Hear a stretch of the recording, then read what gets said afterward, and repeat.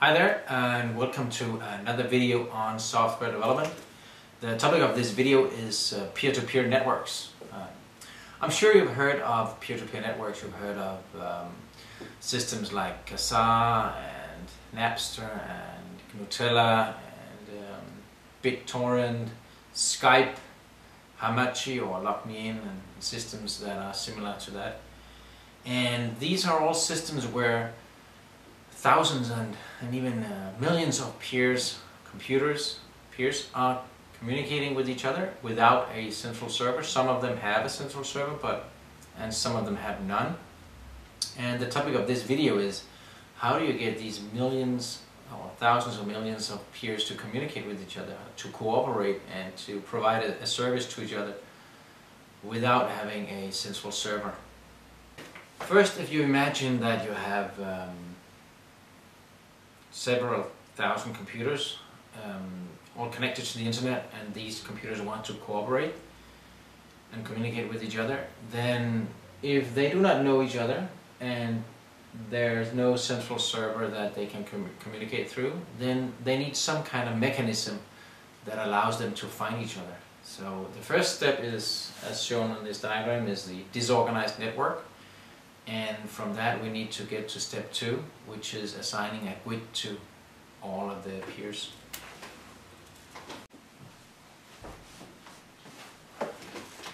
In the second diagram, you can see that all of the peers have been assigned um, a GUID, which is a short for Globally Unique ID. And um, this GUID is what the what the peers will identify each other by and distinguish each other from each other using.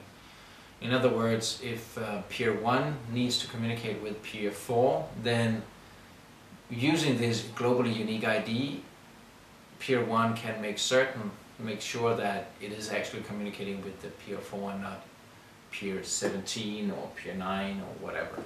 So the GUIDs are uniquely identifying each peer in the network so they can be distinguished from each other.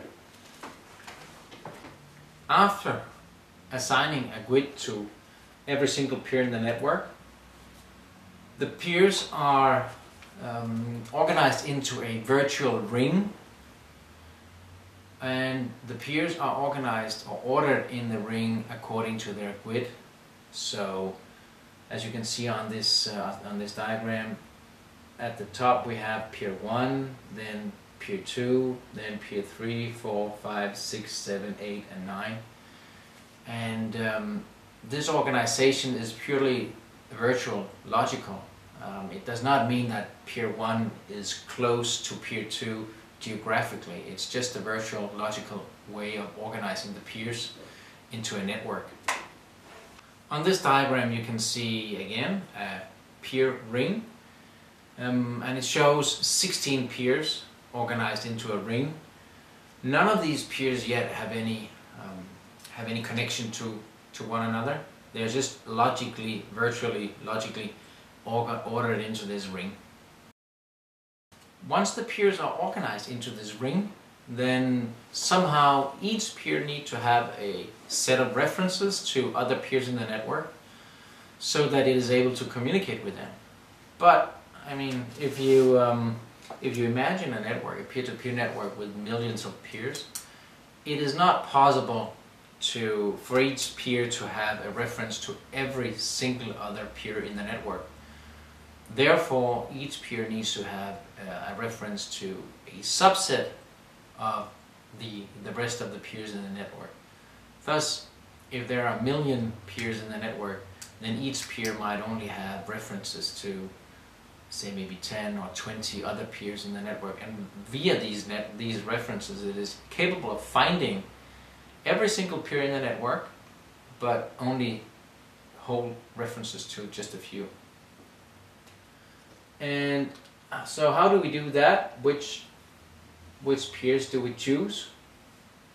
Um, we do that based on a distance from a peer's own GUID. So if peer zero is um, is to reference a set of nodes in the network, then it will then it will choose which peers to, to reference based on peer zero's own GUID, which is zero. And rather than just have, say, 10 or 15 or whatever randomly chosen other peers in the network to reference, peer, peer zero will choose to reference peers that are exponentially further and further away from itself in the ring. As you can see on this diagram, then peer 0 has a reference to peer 1, and there's a distance of 1 between them. Peer 0 has a reference to peer 2, there's a, a distance of 2, a GUID distance of 2 between them. Peer 0 has a reference to peer 4, there's a GUID distance of 4 between the two peers, and then it has a reference to peer 8, which is a GUID distance of 8 and as you can see uh, that results in a distance between the, the referencing peer which is peer 0 and the referenced peers 1, 2, 4 and 8 which increases exponentially. It actually it doubles every time. And that is how a peer chooses which um, other peers in the network to reference. If for instance peer, peer 4 was not actually in the network, a part of the network at the time, then peer 0 would choose the closest peer to peer 4 as that it could get. And uh, here's another diagram showing both peer 0's uh, references, or routing table as it is always also called, and uh, peer 9's similar routing table as you can see, Peer 9 has a reference to Peer 10, Peer 11, Peer 13, and Peer 1.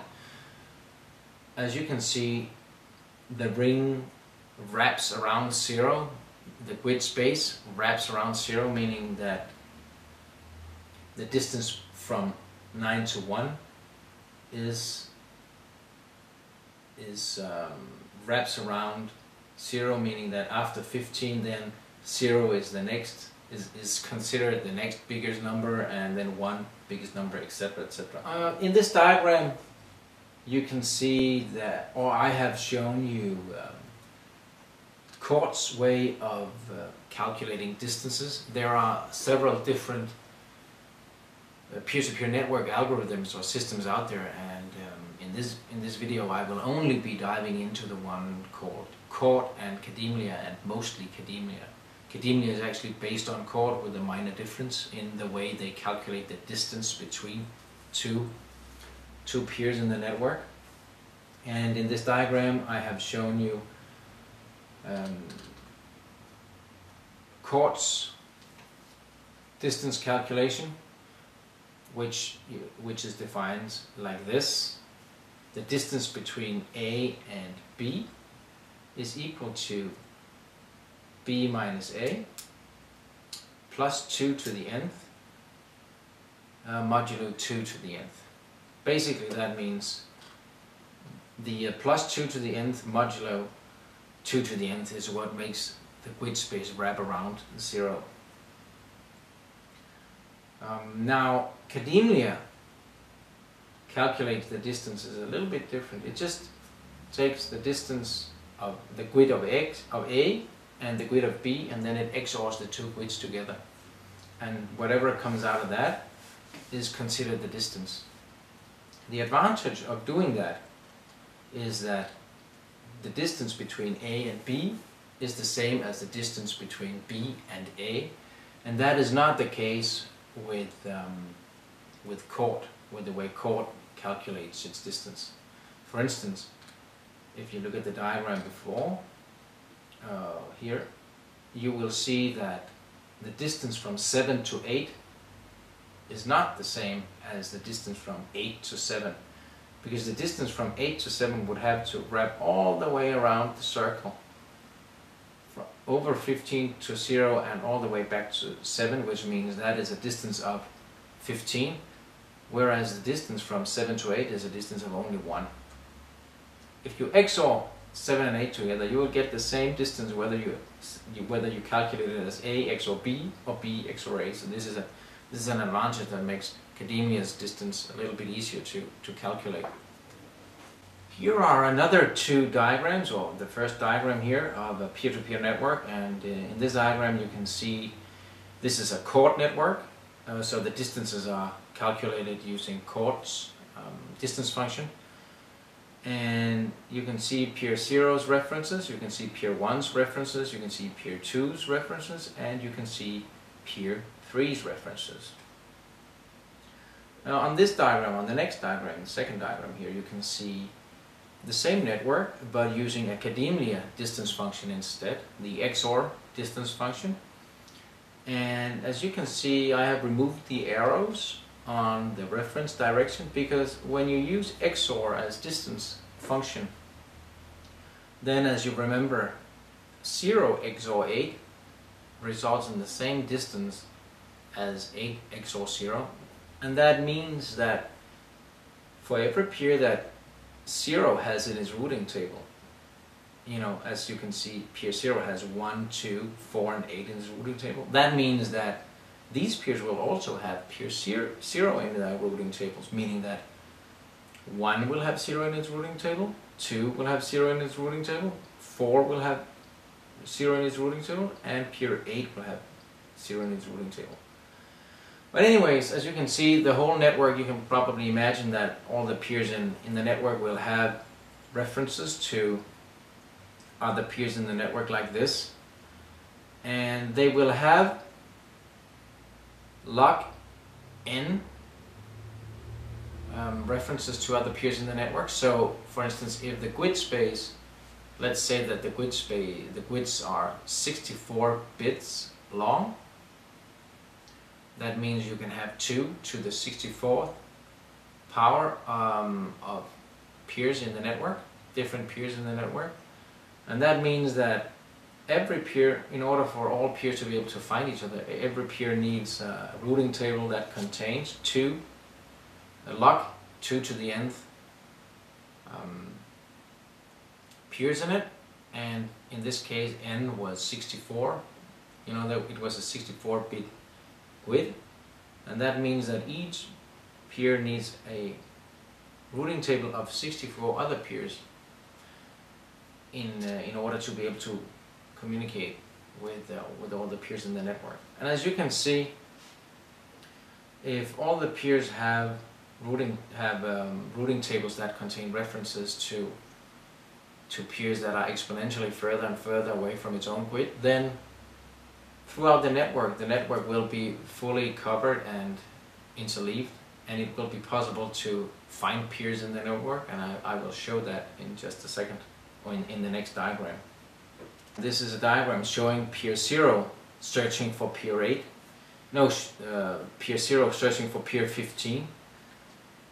What you can see is that peer 0 first contacts peer 8. It looks in its own routing table for the closest uh, GUID it has to to 15 and that uh, is peer 8 and then it contacts peer 8 and asks peer 8 which which GUID do you have in your routing table which is closer to um, to peer 15 than yourself?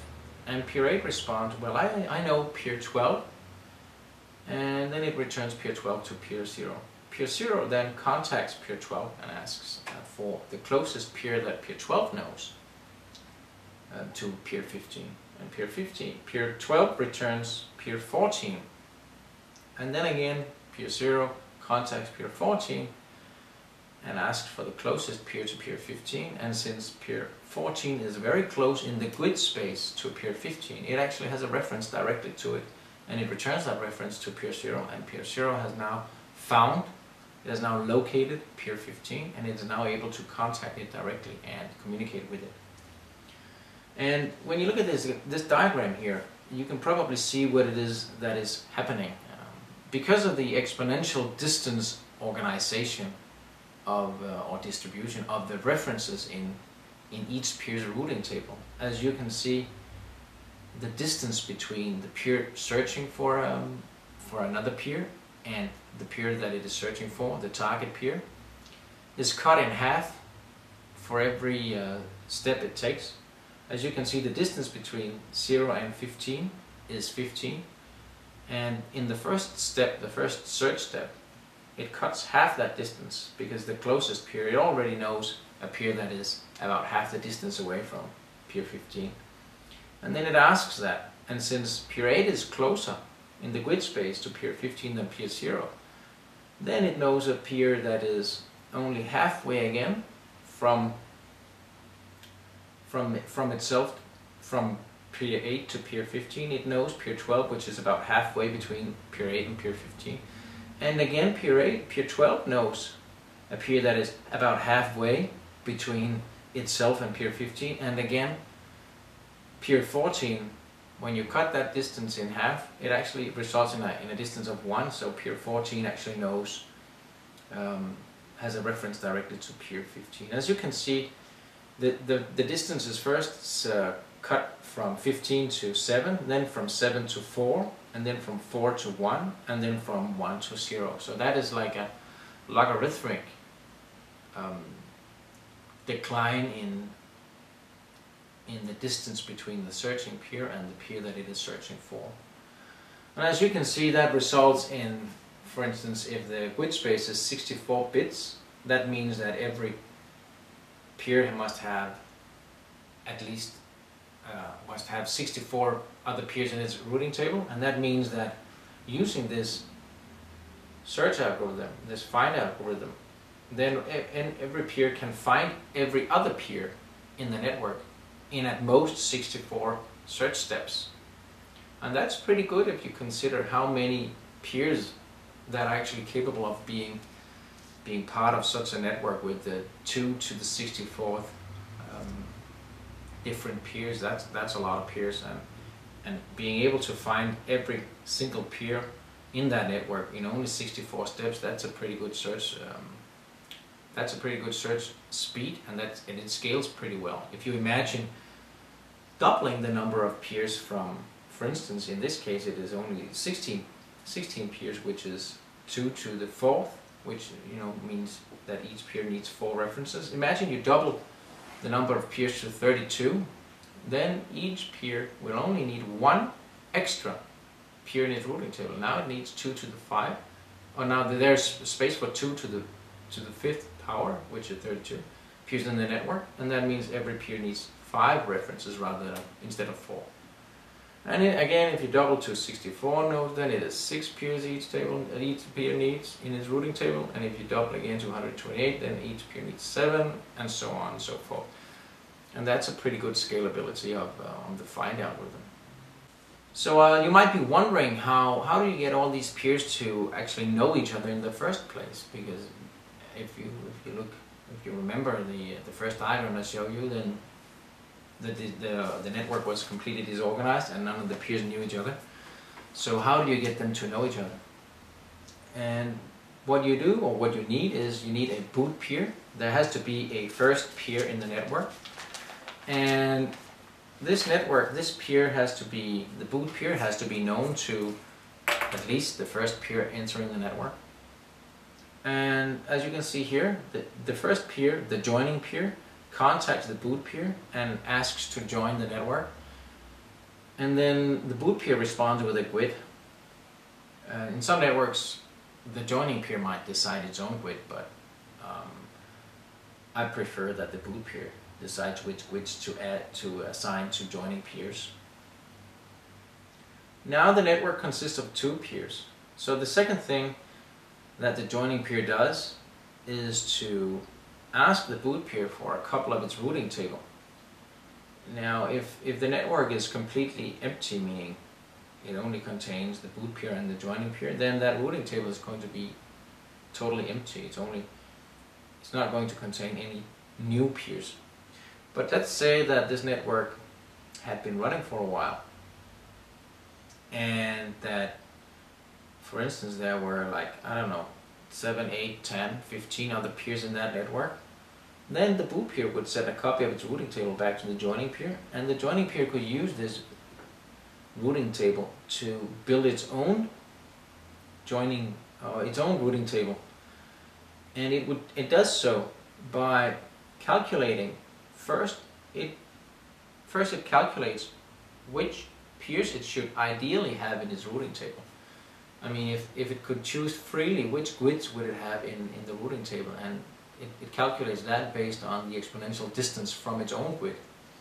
Then it uses the, uh, the temporary routing table that it has received from the boot peer and uses that to search for these ideal peers in the network. And it will put into its own routing table the closest peers in the network that it finds to these ideal peers. And that is how the joining peer gets its own routing table finished or completed. At some point, a peer wants to, uh, to leave the peer-to-peer -peer network again. And the peers that are left in the network now needs to remove the leaving peer from their routing tables. Therefore, to be a good citizen in the in the peer-to-peer -peer network, the leaving peer will send a message to every single peer that it has in its own routing table. If you're using Academlia, Kademlia distance function, then as you might remember, then every peer that, for instance, peer 0 has in its routing table will also have peer 0 in its own routing table. So it's very easy to figure out which peers need to remove peer 0 from its routing table because that is all the peers in peer 0's own routing table. So when peer 0 wants to leave the network, it contacts peer 1, peer 2, peer 4, and peer 8, or the closest peers it has in its routing table to these peers, and sends them a leave message. And after that is done, peer 0 can then shut down and leave the network, and peer 1, 2, 4 and 8 can remove peer 0 from its, its routing table and start searching for um, the second closest peer that it can find to peer 0 and put that into the routing table instead. From time to time, uh, a peer may leave a peer-to-peer -peer network because it crashes or it may fail to send all the leave messages before the computer is shut down or something like that. And in that case, the peers left in the network still need some kind of mechanism that detects that a peer has left the network, that is not, not anymore available, and then to remove that peer from the routing table. And this is called uh, routing table management. And what, what each peer does is, in order to manage its routing table, to keep it up to date, is quite simply to periodically search for the ideal peers that it should have in its routing table. And the closest peer it finds, it will insert into the routing table.